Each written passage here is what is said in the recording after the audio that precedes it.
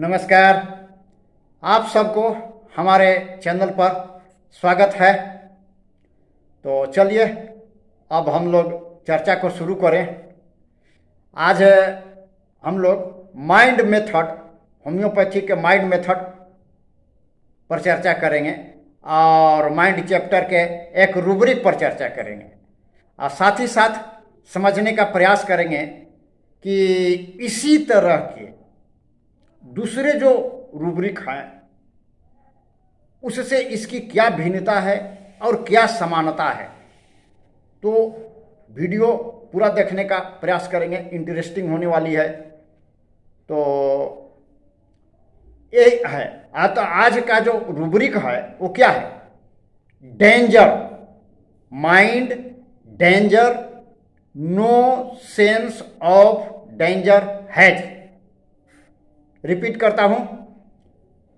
Mind, danger, no sense of danger has यही rubric है। तो इसी रूब्रिक पर चर्चा करेंगे।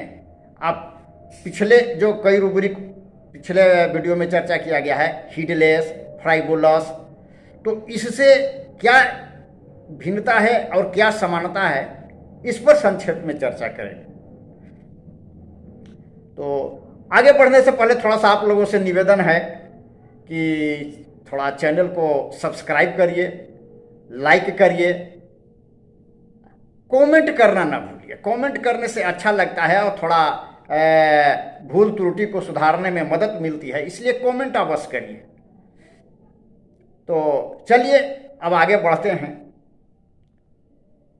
है कि पहले रूबरी को समझने के लिए, पहले हेड रूबरिक को समझ लेना होगा।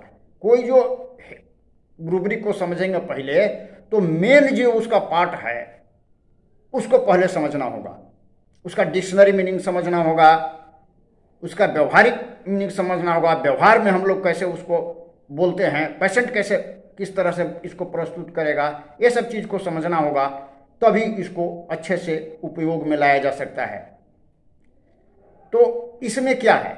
इसमें सबसे पहला जो वर्ड है, से क्या? है पहला वर्ड है डेंजर डेंजर तो पहले डेंजर डेंजर को समझेंगे। पहले मेन पार्ट को समझेंगे कि ये क्या है? फियर है, कि डेलूजन है, कि सैडनेस है। ये जो पेशेंट बोल रहा है, से अभी इसकी कौन सी अवस्था में बोल रहा है?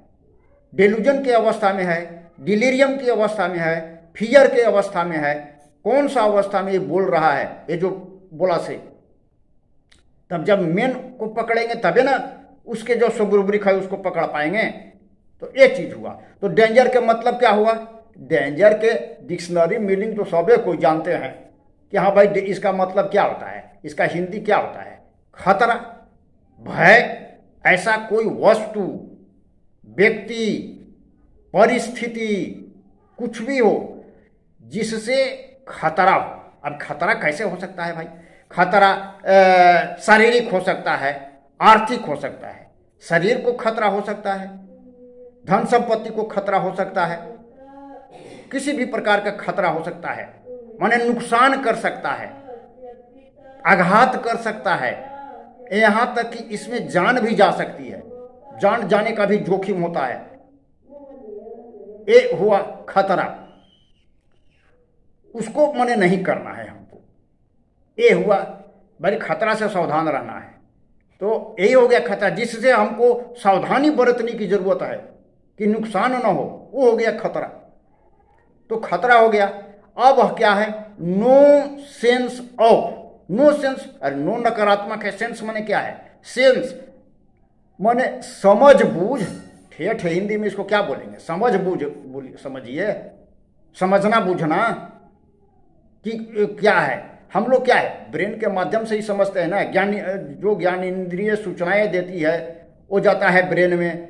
ब्रेन इसको समझ कर करके उसी के अनुराप, अनुरूप प्रतिक्रिया करने का निर्देश देगा तो व्यक्ति प्रतिक्रिया करता है। तो इस रूब्रिक वाला व्यक्ति को क्या होगा? ये कहीं ना कहीं यही प्रॉब्लम है। उसको जजमेंटल प्रॉब्लम है। जज नहीं कर पाता है।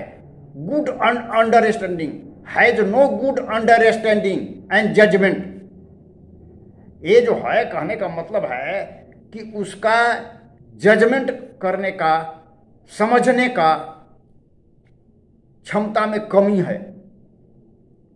परिस्थिति को समझ नहीं रहा है। ये हुआ। इसमें क्या है? एक तरह से ऑडिसिटी भी कह सकते हैं, जिसको फुलिस बोल्डनेस फुलिस बोल्डनेस भी इसमें होता है। ये जो रूबरिक है इसमें फुलिस बोल्डनेस और एक में हिडलेस भी छिपा हुआ है, ध्यान नहीं देता है। पूरा रूबरिक का मतलब हुआ कि डेंजर है। इस काम को करने से इस काम को नहीं करने से डेंजर है। इस परिस्थिति में रहने से डेंजर है। लेकिन उसका सेंस नहीं है, समझ बूझ नहीं है कि क्या खतरा हो सकता है। निर्णय नहीं ले पाता है। निर्णय लेने की जो क्षमता है, वहीं पर कुछ कमी है। वो समझ बूझ की कमी है। इसीलिए वो काम करता है। बीमार है। जान रहा है कि इतना बीमार हैं हमको इलाज करवाना चाहिए, खतरा हो सकता है, जान जा सकती है तो भी ध्यान नहीं देगा। तो ये जैसे मान लीजिए, सपोज़ कोई शुगर पेशेंट है। शुगर पेशेंट है, वो जान रहा है कि शुगर पेशेंट है भाई तो हमको चीनी नहीं खाना है। चीनी नहीं खाना है, मीठा चीज़ नहीं खाना है। लेकिन क्या करेगा? अच्छा खा लेते हैं एक दूगो क्या होगा? एक दूगो खाने से शुगर बढ़ जाएगा। तो इस तरह के मनोवृत्ति है। जान रहा है। ये बात नहीं है कि नहीं जान रहा है कि हाँ हम इसमें खतरा है। खतरा शुगर बढ़ जाएगा तो हमको शारीरिक नुकसान हो सकता है। शरीर का जो जंत्र है किडनी है आँख है ये सब डैमेज उमेज कर सकता है और नुकसान कर सकता है। लेकिन तो भी उस पर वो ध्यान देना। एक दूगो करने से क्या होगा? खाने से क्या होगा? तो इस तरह के आ, उसका खा लेते हैं। कुछ भी नहीं होगा। कुछ होने वाला नहीं है। खा लेंगे दूगो मिठाई खा लेंगे तो शुगर बढ़ जाएगा कुछ नहीं होगा। तो इस तरह की उसकी मनोवृत्ति होती है।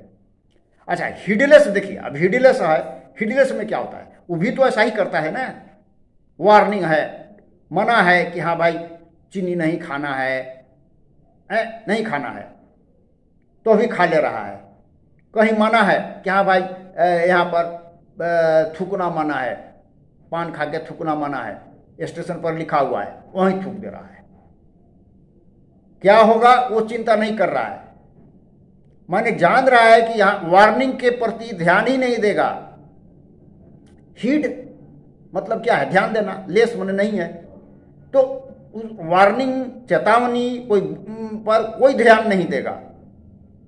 तो देखिए, ये जो danger no sense of danger में हीडलेस है, ये बात नहीं है कि नहीं है।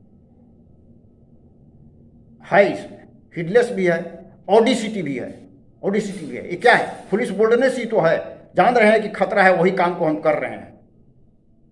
यही है।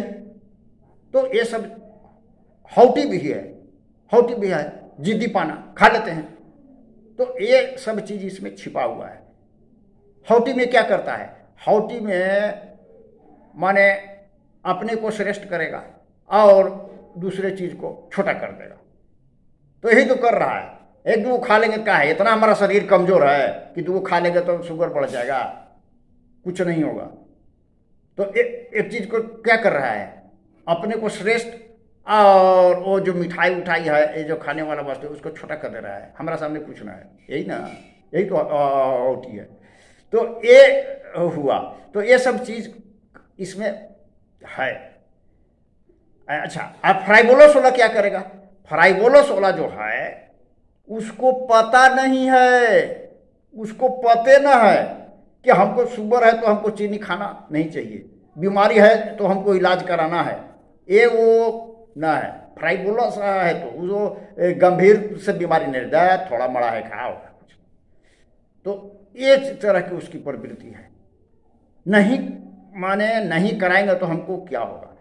और हिडलेस वाला है कि वो भविष्य के चिंता उनता नहीं करता है। जानता है लेकिन भविष्य के में क्या होगा? क्या होगा? देखा जाएगा। इस तरह के मनोवृत्ति। ये हो गया। अभी तो मज़ा ले लें, बाद में देखा जाएगा। इस तरह के मनोवृत्ति होता है हिडलेस में। तो ये हो गया। हिडलेस संक्षेप में बता देते हैं कि खतरा है, लेकिन खतरा के प्रति ध्यान नहीं देता है।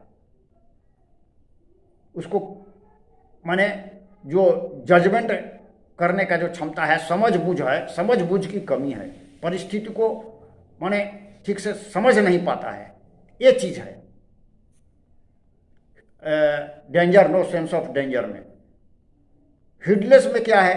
वो भविष्य के लिए परवाह नहीं करेगा। अब हिडलेस में एक चीज़ और है कि किसी खास परिस्थिति के प्रति ही वो हिडलेस होगा। सब जगह हिडलेस नहीं है। फ्राइबलोस वाला करीब करीब सब जगह रहेगा, सब परिस्थिति में। लेकिन हिडलेस वाला को ऐसा बात नहीं है। चिकित्सा नहीं करवा रहा है। तो यहीं पर वो हिडलेस है। बाकी क्षेत्र में वो ठीक ठाक है। सब जगह ध्यान वान दे रहा है, अपना काम कर रहा है रूटीन फूटीन सब ठीक ठाक है। उससे काम कर रहा है। वो चिकित्सा के प्रति ही ध्यान नहीं दे रहा है। भविष्य में क्या होगा, इसका चिंता नहीं कर रहा है। बीमारी क्या करेगा से? तो ये हो गया हिटिलिस तो आज के लिए बस इतना ही। जो लोग मेरा दूसरा वीडियो देखना चाहते हैं, वो उसका लिंक डिस्क्रिप्शन में दे दिया जाएगा, देख सकते हैं। इस चीज़ को, हिडलेस को समझने के लिए पिछला वीडियो अवश्य देखें। तो ये हो गया। अब, विदा लेते हैं। इजाज़त दीजिए। नमस्कार। जय हिंद। फिर मिलेंगे अगले वीडियो में।